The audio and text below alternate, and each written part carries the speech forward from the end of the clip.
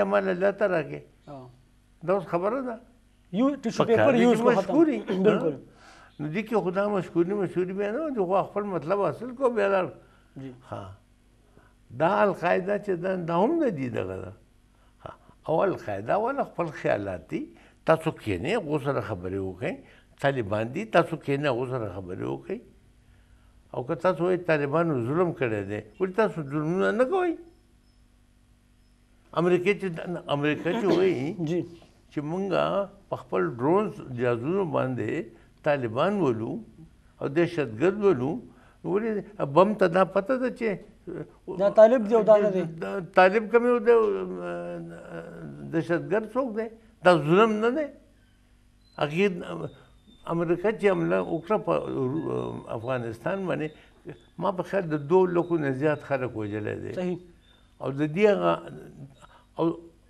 په نیویارک کې چې هغه دوه بلډینګونه تباه کړو هغه پښتنو نو خراب کړي چې زور طالبانو نو خراب کړي ټول عرب ول هغه هو عربو کړو بالکل ها نو تاسو عربو سره ولې جګړه نه کوئ هغو نه تیل غواړی هم په تود تیل باندی مالش کوي په دی وجه باندی تاسو هغو ته ښه تاسو د طالبانو چې کوم نظریات دي د هغې ملګرتیا هم کوئ او کوم چې هغوی عملیات کوي دا کوم طریقې سره چې هغوی په سورابچو کې به چې خلک جوړن کو په قول د سواد د خلکو یا کوم ظلمونه په قول د خلکو چې هغوی ډېر زیات وکړل د هغې هم تاسو حمایت کوئ په سواد کې خو قصه دا ده که نه سوات همیشه مذهبي علاقه راغلې په دې بالکل د هغه سیدو بابا نه مخکې هم هغه زمانې نه ها کله ښه کله نه ښه جی خو بیسیکلی دغه دی کنه یعنی مذهبي دي جی نو فضل الله خلکو ولې خوښ کو فضل الله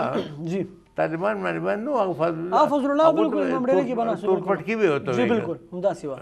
نو ور تور پټکی خو نو ها نو دا د تور پټکو دا مهم په سوات کې ولې شروع شو خلک تنګ شو په دې وجه شروع وکړه جی انصاف نشته ها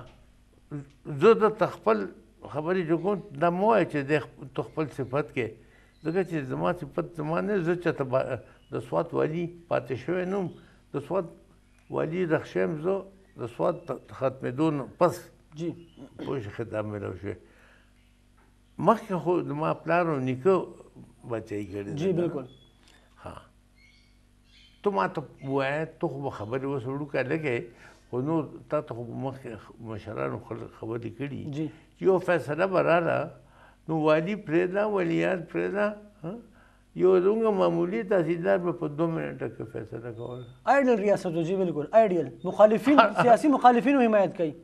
په انګریزي کې چې ته کامن سنس وایي بالکل هر چا ته پته وه بالکل نه جی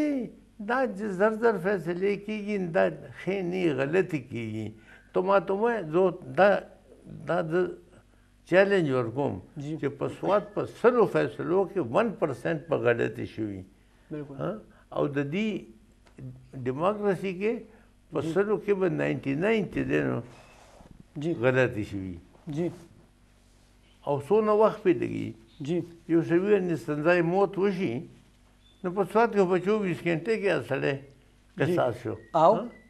او دلته کې شل کال هغه په پانسه په کوټه کې پروتي اجز او پته نه لګي دغه انصاف ته بالکل دغه انصاف ته ته ماته وایې یو سړي باندې تاسو سزای موت خو جوړې دی او شل کال ته چې دنه په دغه ما پیډو من پیډو کې دغه کې ساتي په جیل کې او دا ویسټرن دیموکراسي دغه دی امریکا کې هم شل شل کاله پنځه پنځه کاله خلکو چې د نن د پانسۍ په کوټه کې تیری کړی دي لکه تاسو دا غي نو دا خلک د پوز لراغه چې مونږ لاړ شو او زما ستا فیصله ده جی پوه شئ او فیصله چې د منه کل خ... زر روپو فیصله ده او زموږ په 50 50 روپۍ هم ولګي ها او کلونه هم ولګي او فیصله بیا هم نه ختمېږي او په انګریزي کې وایي ټیکس ایز ناټ ټو فینیش صحیح خبر هم داسې ده ها نو ته به تنګېږې نه زه به تنګېږم نه خو که ما ته پړ یا وړ ووایې تا ته یا پړ وړ ووایې موږ زه سړیه فیصله خو وشوه که نه که غلطه شوې نو بیا په اپیل به کوو جی نو د دې دغه نه خلک ته شو ته بیا ما ته دا وایې زه دا نه یم چې په سوات کې چې کرپشن نه